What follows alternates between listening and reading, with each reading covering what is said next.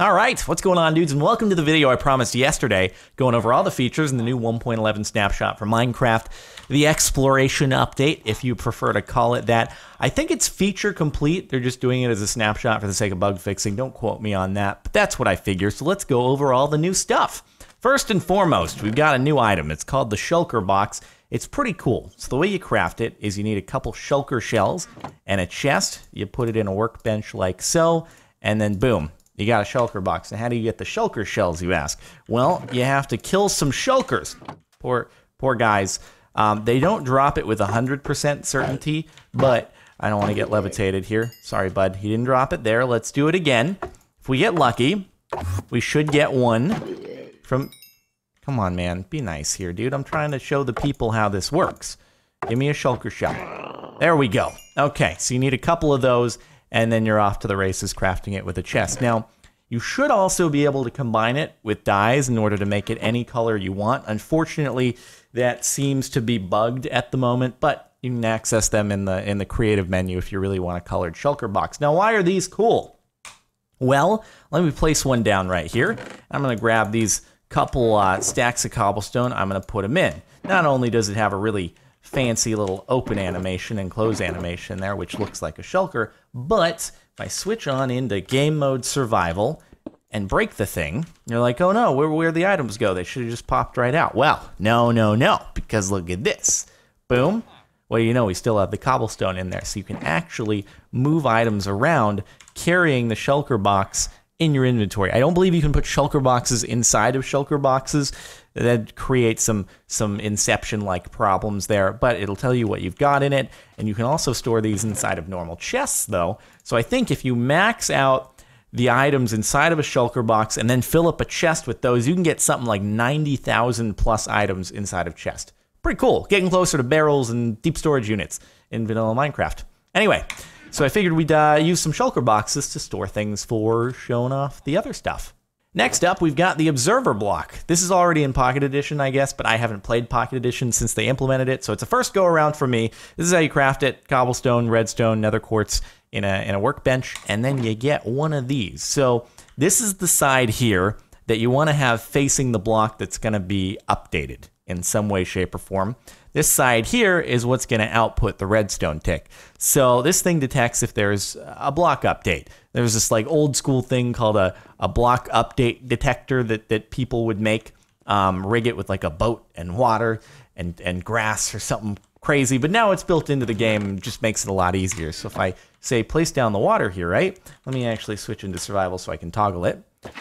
You'll notice it outputs a redstone signal and it rewards me handsomely for putting down and removing the water because it sends a signal out to the dispenser and I've just got a bunch of diamonds in there because why not reward you for putting down and picking up water? It's a very impressive skill. One that's very important in life when you're uh, clearing your dinner dishes or something like that. Anyway, that's uh, that's the, the, the observer block. Um, I'm sure many uses for it. I can't come up with all of them off the top of my head, but it's pretty cool stuff. Next up on the agenda, you've got cursed enchantments. Now, these aren't really something that you would want to have. So you probably wouldn't want to use a book and put it on a piece of armor that you're then going to wear. But if you can somehow get a friend to wear it without realizing, or I don't know, you, you pull one from a, a dungeon or somewhere in the end and it has other good stuff on it, but it does have an, a cursed enchantment, you're like, oh, maybe it's worth it. Anyway, so let's apply these to the chest plates here. We've got uh, we've got the enchanted book Curse of Vanishing, and what happens with this? Let me flip it around because I know what I'm doing. What happens with this is if you die with it on, then you lose it. It's just it's gone unless you keep inventory on. But under normal circumstances, if you die with a Curse of Vanishing, it's just gone. With the Curse of Binding, if you put it on and you're in survival mode, it's on. You can't get it off unless you die. So let's check it out right here. So I'm gonna put on my curse of binding, and now it's it's stuck. I you hear me? You hear me spamming my click? Can't get it off. It's stuck on me. So I mean, fortunately, it, it protects me, so it's fine in that regard. But until it either gets destroyed, its durability runs out, or I die, it's uh, it's staying on. Well, uh, I crashed when I died for some reason, but but that's how the thing works. And I guess you can just take my word for it that with this one here, if if I die, it'll it'll be gone, so we don't have to crash again. Because I don't know why that happened. But anyway, Curse of Vanishing, it's, it goes bye bye. Um, so I guess it's not really like a, it's not an issue to wear it. It's just, it's risky, is all. All right, so let's keep on moving along here. Next up, we've got a new career for villagers. We're giving them great opportunities in the world to expand their horizons and do amazing, never before seen done things before for villagers. So uh, this is the cartographer. He looks like a librarian, and usually when you encounter him, he's just gonna have like the first trade here, some paper for an emerald or something like that. You trade with him a little bit. Oh, he unlocks something else. Oh, that's pretty cool. I mean, it's not that cool. Oh, you trade with him more. It unlocks something. Okay, that's not that great. But then you trade with it some more and then you're like, wait a minute, what's what's an ocean explorer map? Wait a minute, what's a woodland explorer map? This is kind of cool. I wonder what those are. So you go into your bank account and you withdraw some funds to give to the cartographer for his services because his services look very worthwhile now, don't they?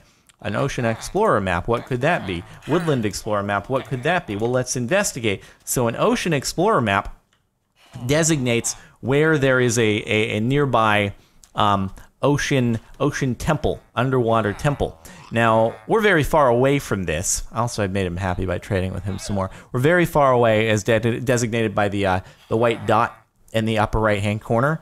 Um, in fact, we could be many thousands of blocks away from this, but if we could figure out what direction that is, uh, we can head towards it and hopefully find it. Now, same with the Woodland Explorer map. Uh, again, our dot's real, real small there in the bottom left-hand corner, so we probably have to walk really, really, really, really, really far for this.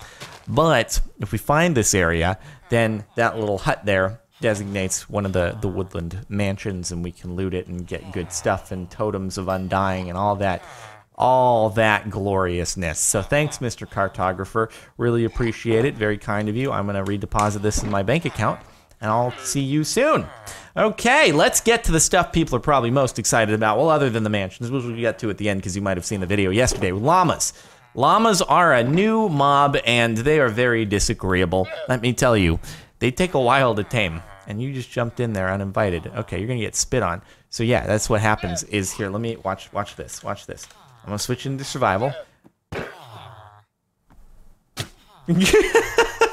I like how they they hesitate for a second. They hesitate, and then they're like, Puh. I probably just peeked the microphone. Dude. I'm sorry. Should have pop filtered that. My bad. My bad. You want to get spit on? I, he nods at me. He's like, yeah, that's why I'm in here. Okay, watch. I'm gonna get you. Stand between me. Stand between me and the llama, and you, it'll happen to you. Oh, okay. He's good. Here we go. Here it happens. Yeah, you got spat on. That's what you were going for. I know. It's your thing. Okay. Anyway, so you tame them by sitting on them. They just take a long time to do. But after that, then you can access their inventory and you can put a chest on them. Here, let's just do all the above. Put a chest on them, or you can change their color of carpet to something else. It's like their saddle, but you you, you can't actually control the llama by riding it. You can only sit on it, but they got they got a mind of, a mind of its own but you can switch the carpet out, and they they're really fancy looking, cool, cool looking carpets. You look you look like a little Bo Peep from Toy Story or something right now. Anyway, we'll switch it back to green, which is probably what you were comfortable with. It you were warming it up, um, and then obviously if we want to put a chest on you, we can we can do that too by just by, by just there we go. I had to click in the right spot. Now the oops. Um, now you can also access the llama's inventory while you're riding it just by pressing E if you're on top of it. Um, but again, you can't control it, or you can shift right click. Now, the amount of like chest spots that they have varies depending upon their strength, supposedly.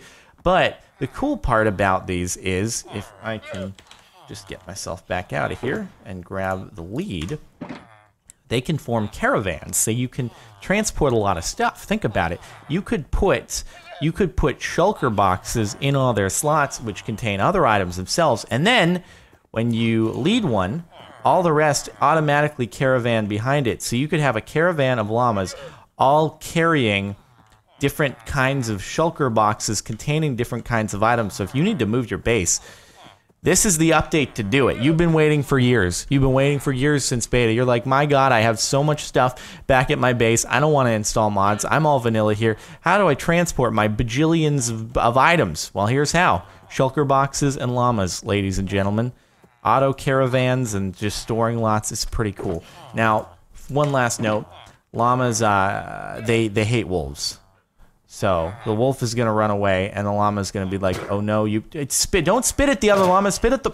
Why are you spitting at each other now, you idiots? Oh my god, they're having a spit cannon battle. It's like a spitball battle. We're in high school now. This Llama High School, it's gonna be the new Minecraft roleplay. Welcome to Llama High School, ladies and gentlemen. The best of roleplay. Okay, it's gone mad. We're killing the wolf. It's over.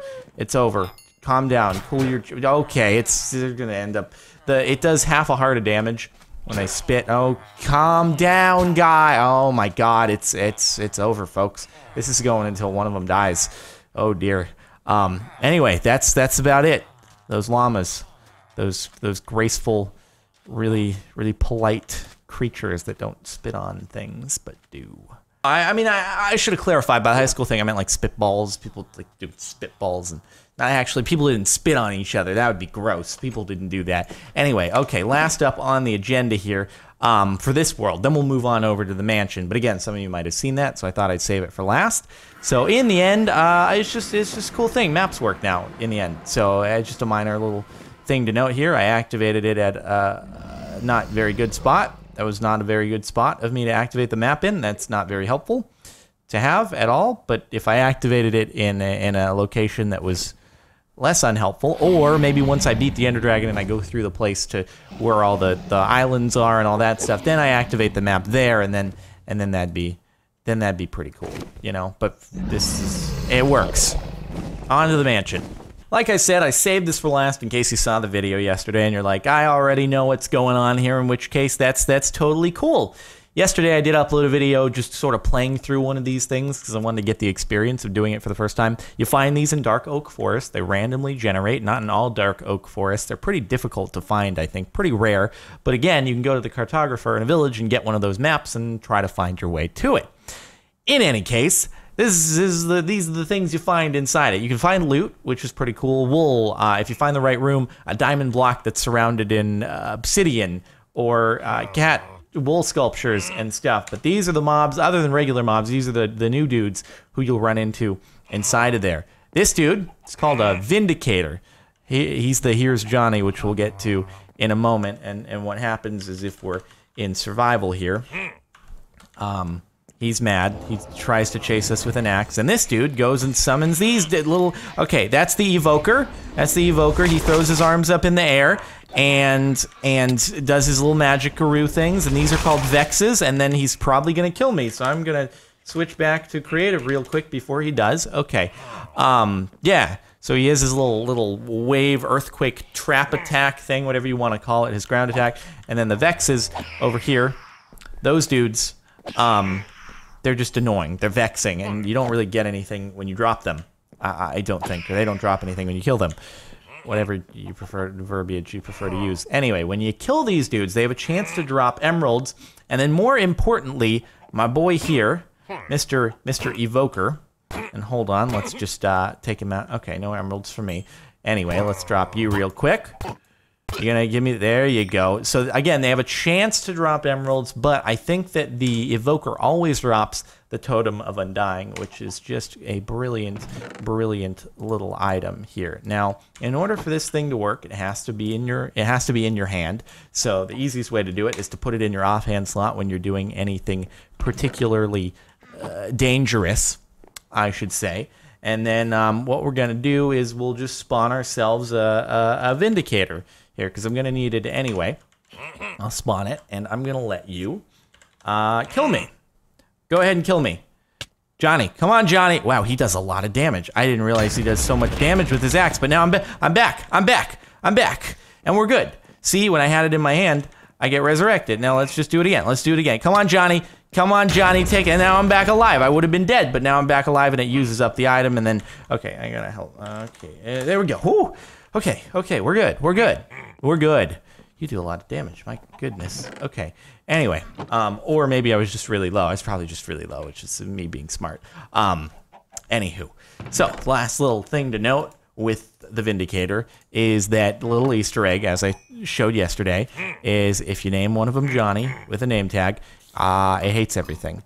Johnny will kill everything. Johnny just Johnny kills everything. Even it'll even try to run after the Vexes that the Evoker will spawn, and um, yeah, and and it'll run around. It looks like it's chasing butterflies.